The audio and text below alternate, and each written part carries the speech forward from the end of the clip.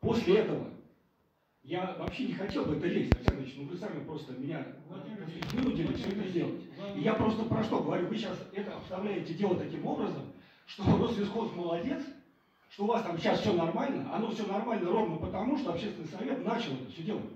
Владимир Евгеньевич, э, пожалуйста, не передергивайте. Никто у вас лавров не отбирает.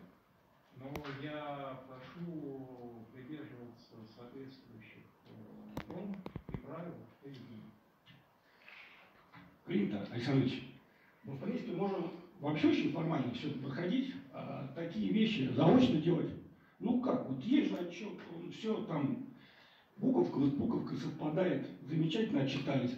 Написали, так сказать, одну, одну десятую из того, что можно было бы сделать, и отчитались на отлично. И сто процентов выполнено. Мы можем вообще это заочно делать, если это настолько неинтересно.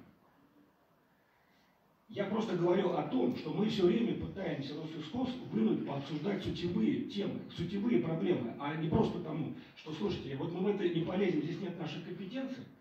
Мы понимаем, что вы э, не можете э, часто, как, так сказать, э, формализованная там структура, орган, федеральный орган исполнительной власти, не можете пойти, хлопнуть по столу и сказать, там, значит, господин представитель правительства, должно быть вот так ну, есть определенные правила, но мы еще раз говорим, что мы хотим обсуждать тему, что не так. Мы можем это сделать через общественную палату, э, еще каким-то образом. Э, но вы все время закрываетесь. Я вот, вот собственно, вот про что говорю-то. А так никто не собирается, э, так сказать, никакой, кстати, принят закон о чистоте русского языка. Владимир Евгеньевич, э, Есть хороший слово.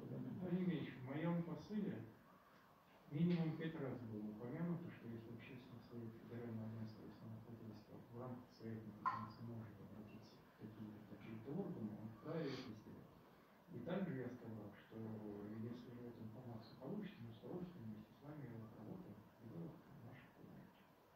Не надо, пожалуйста, провоцировать федерального агентства самоходительства за те действия, которые выходят за пределы полномочий.